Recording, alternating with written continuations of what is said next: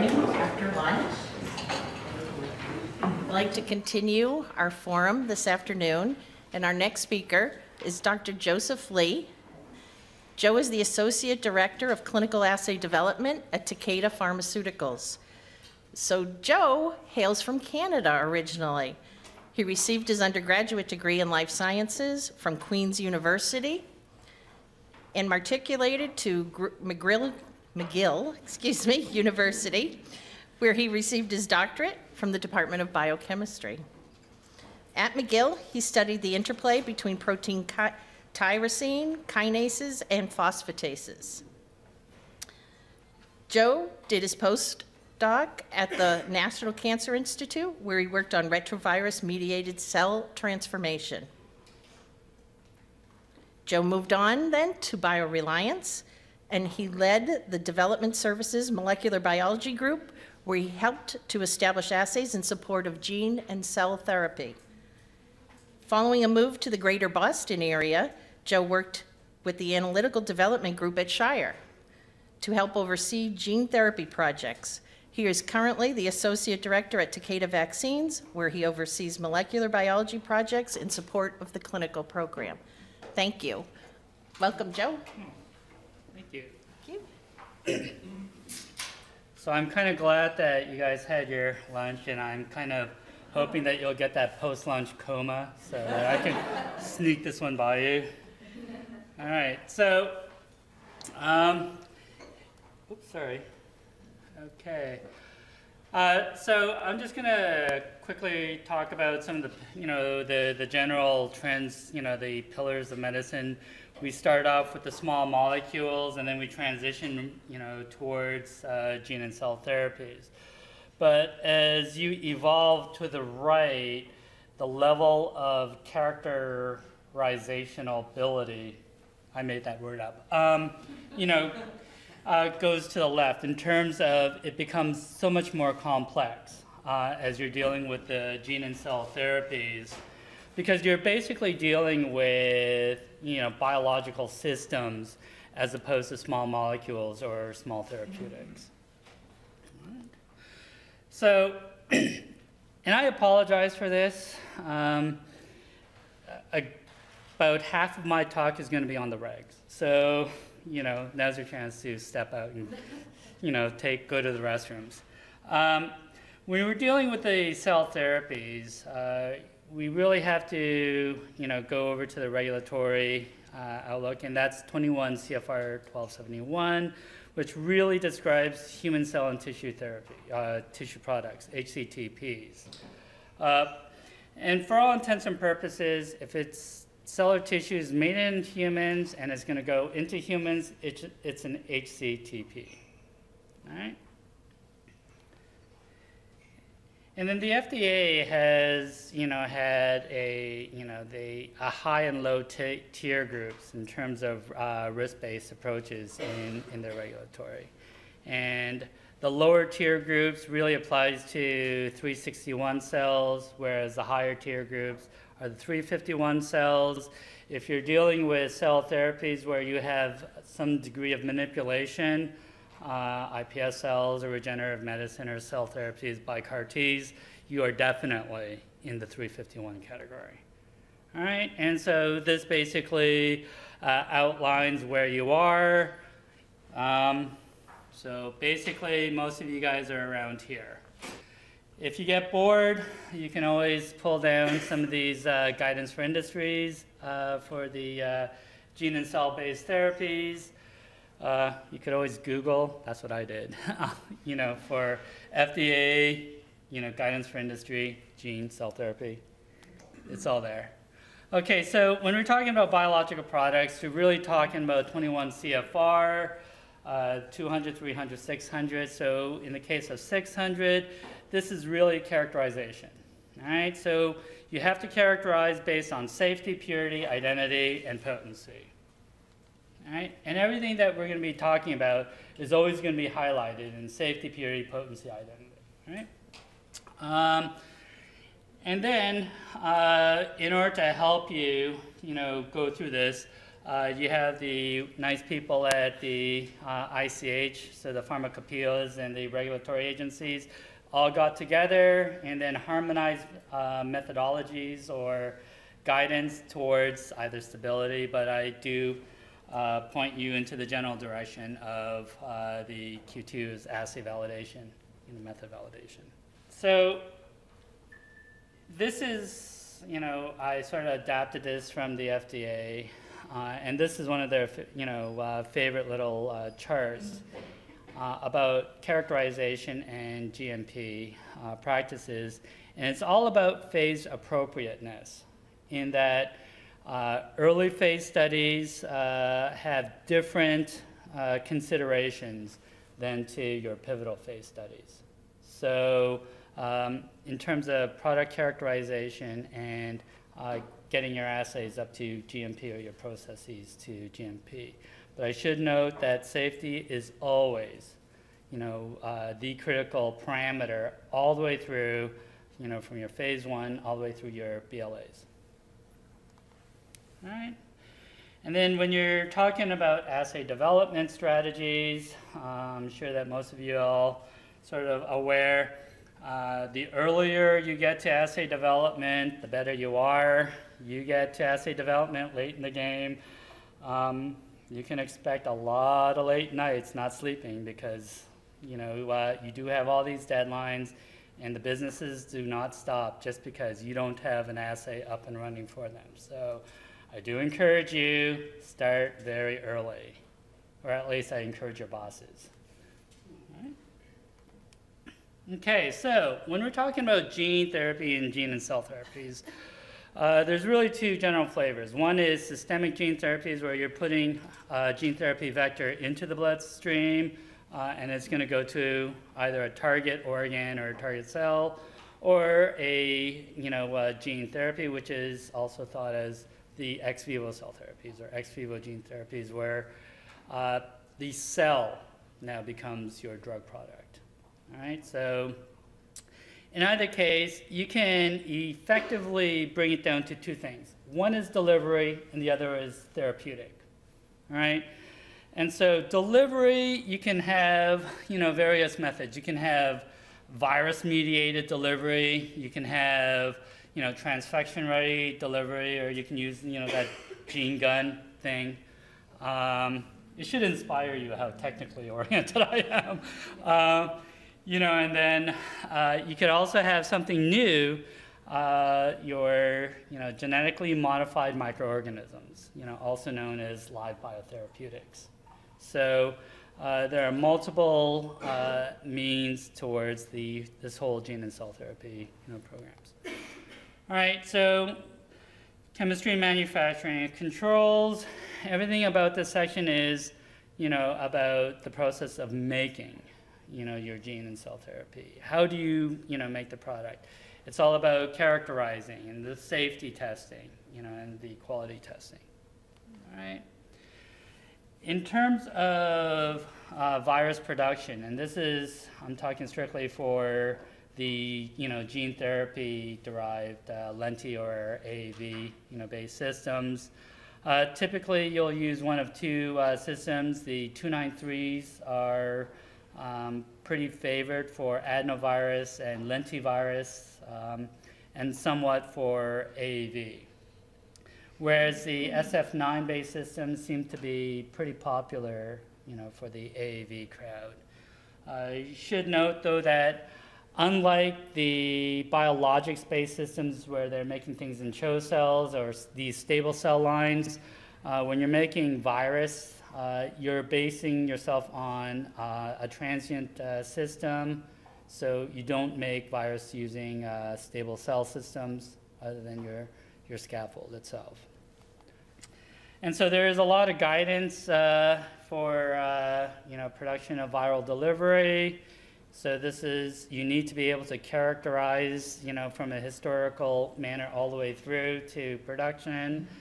Um, you know, the vectors, the how did you derive it, how did you make it, and everything has to be, you know, very well documented. Also, you need to have your master cell banks, you know, already planned out and, and characterized. and, and go through the whole thing. Uh, in the case of SF9 cells, you do have things called BICs, which are baculovirus infected insect cells. These are quasi cell lines. Um, the, the, there's some difficulties or some issues with baculovirus that's sort of in that gray area because um, these are transient, but they're not really transient. So, because you've master banked, you know, this, you know, 50,000 vials of these BICs, and uh, when you're using it, so it's going to last forever, but they're not really stable, you know. So there's a little bit of confusion there. All right. And then depending on what kind of system you're using, you know, you are compelled to, you know, perform platform-specific uh, adventitious agent testing or adventitious virus testing. Uh, the human panel, which is actually very similar to the 1271 uh, donor virus panels, where you have to test for, you know, this whole set of uh, virus. And then if you're using an insect platform, they have, you know, very much an insect panel. And you're also your raw, materials testing, uh, your cell lines. If you're growing in serum, you have to do 9 CFR, so all your bovine or all your porcine type of virus and adventitious agents. Okay, and then there's ancillary material. And so uh, ancillary materials um, are not supposed to be in the final product, but they are required to make your final product. And so uh, DNA plasmids to make your virus, you know, that you're transfecting in. So you have to make sure that it is, uh, you're testing for all your ancillary methods. And, you know, and so the USP has guidelines uh, or best practices uh, for you to take.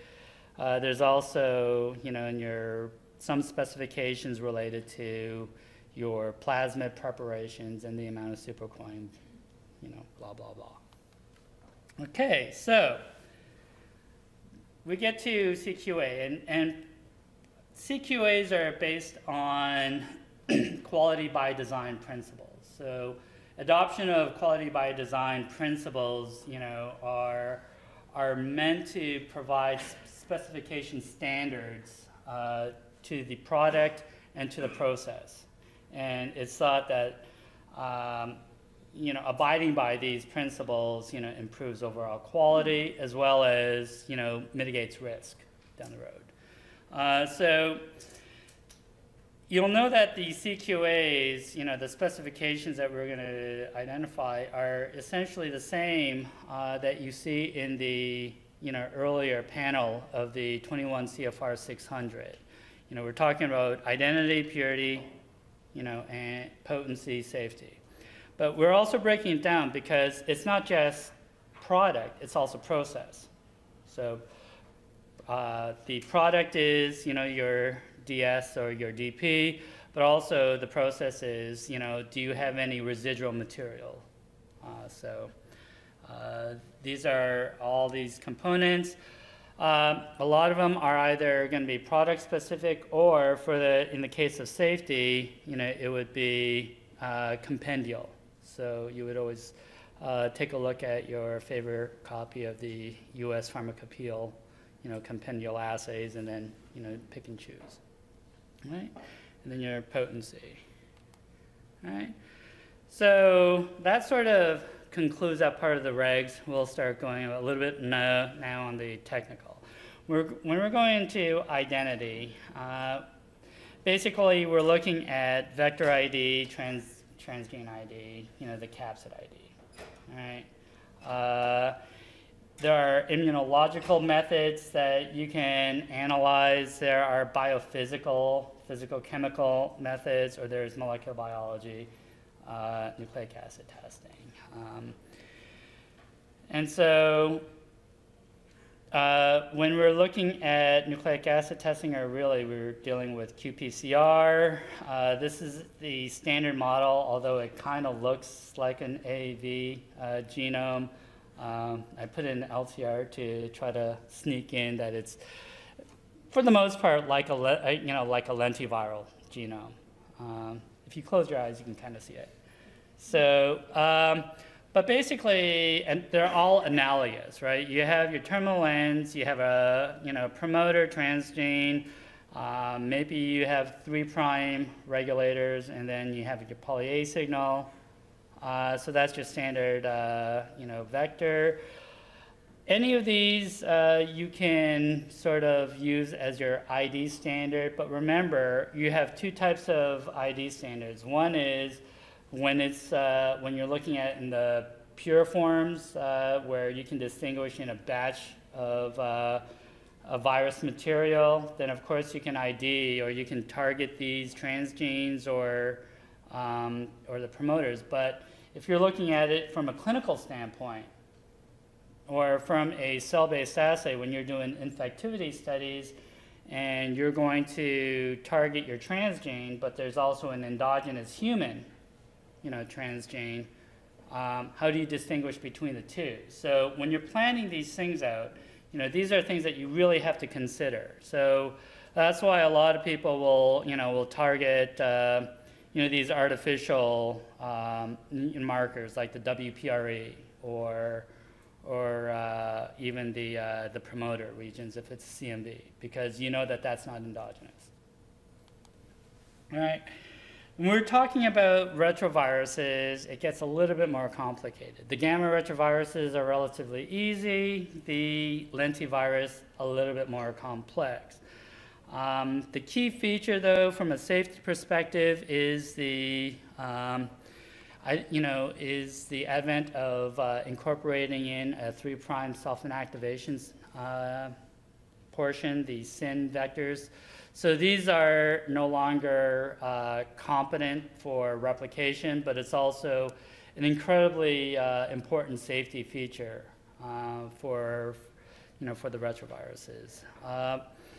The other part of safety that's incorporated into retroviral uh, production uh, is that you can now make retroviruses and AAV for that matter uh, by allowing these accessory genes in trans or expressing it in trans so that it limits the recombination of making a replication competent uh, wild type virus. All right. So when we're talking about purity, you have two types of purity, the process-related purity. So those are your standard, you know, lot release assays of residual DNA and protein, um, you know, whether there's helper virus or benzonase and, and stuff in there. And that's also, you have to deal with your product-specific impurities. So the capsids, whether they're empty or full in the case of AAV, um, aggregation of your material is incredibly important because that uh, in gene therapy and cell therapy, um, that may play a role in immunogenicity, which we sort of saw in the very first talk is supposed to be bad. Uh, so uh, these are all you know components to think about. When we're talking about you know residual nucleic acids, uh, if I take the AAV scenario, it becomes kind of complicated because uh, this is what you're basically thinking your drug product is. And depending on the design of your AAV vector, you could actually have a small AAV vector, which should be, you know, typically AAV is about 4.6 kb single-stranded. If it's smaller than 4.6, let's say if it's uh, 2.5, then you have something called a suboptimal pack. Um, and then from there, uh, it allows the potential of putting in two small pieces, you know, in there. So you're sneaking in an additional piece of uh, DNA because it's a more stable variant uh, that way.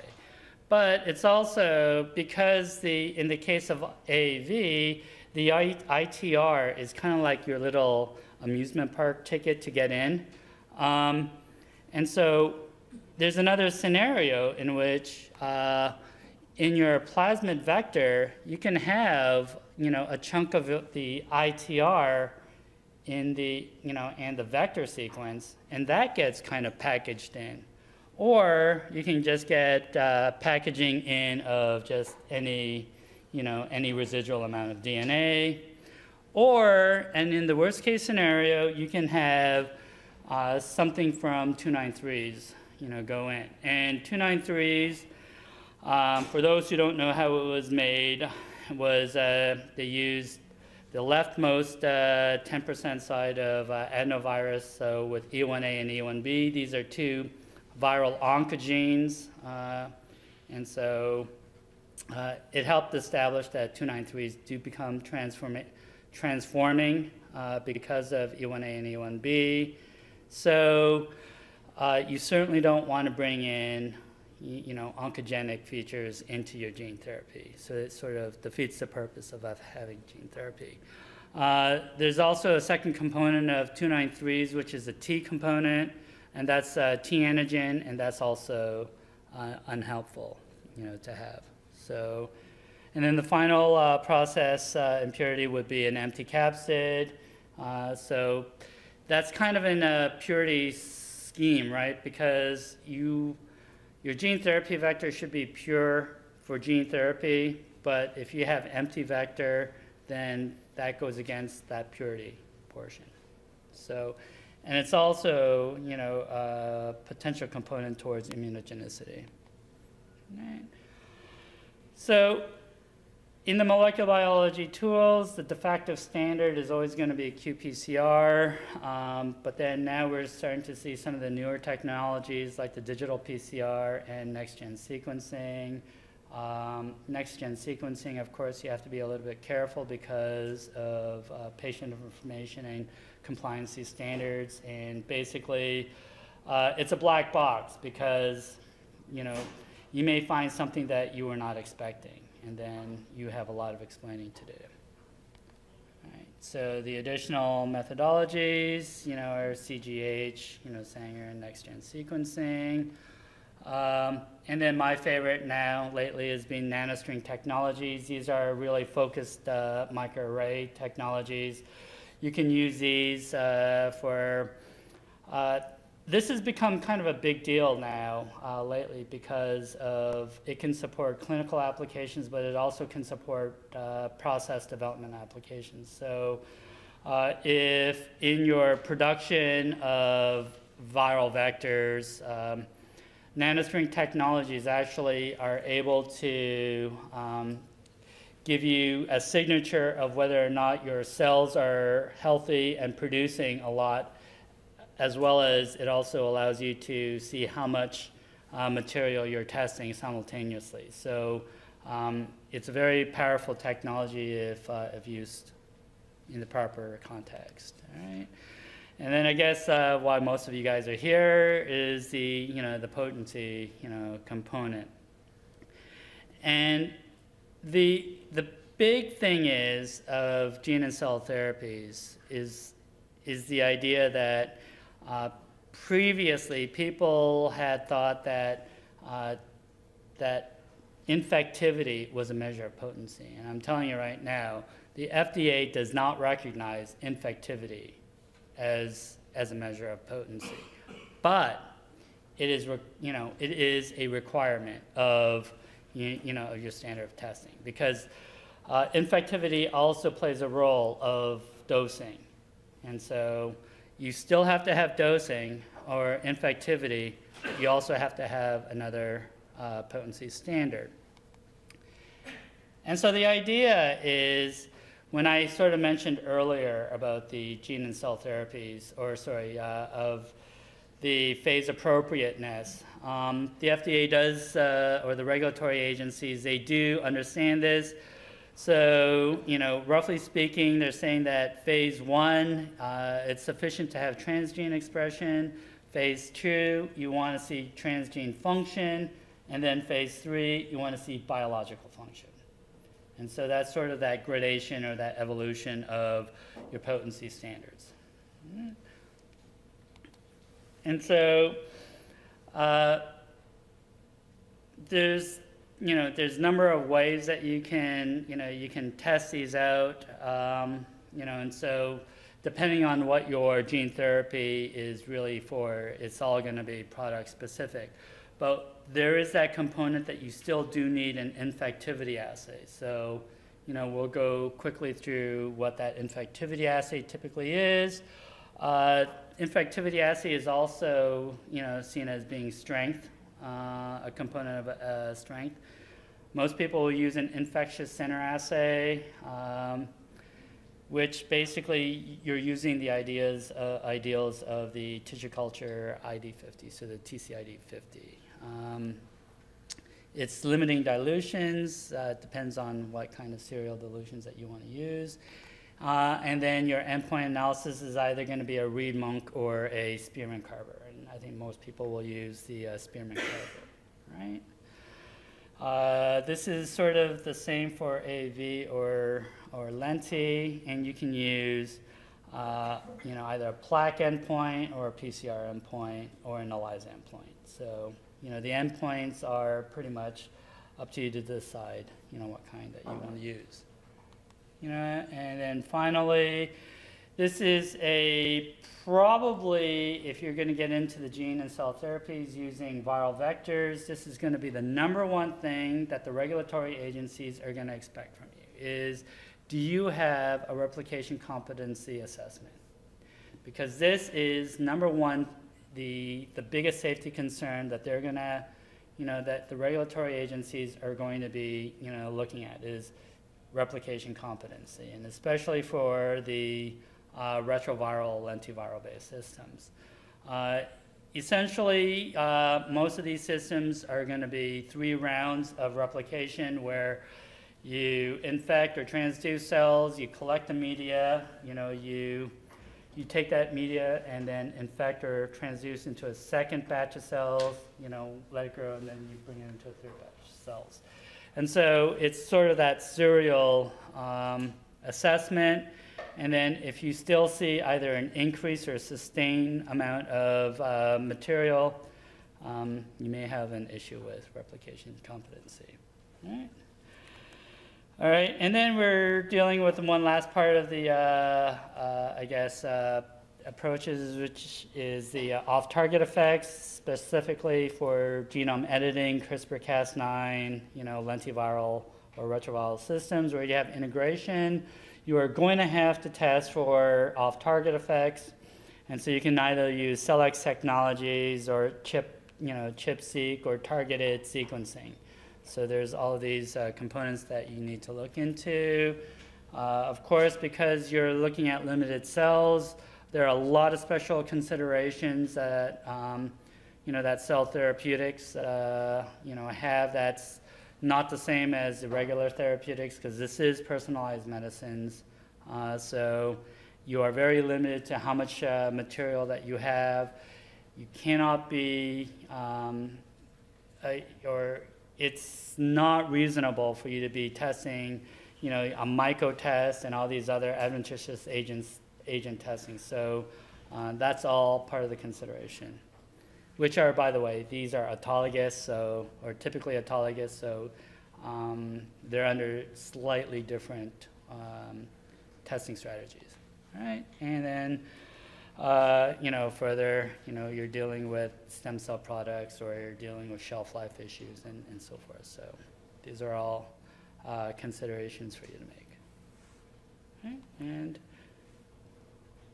that's pretty much it. I was on time? Holy cow. Right on time. There you go.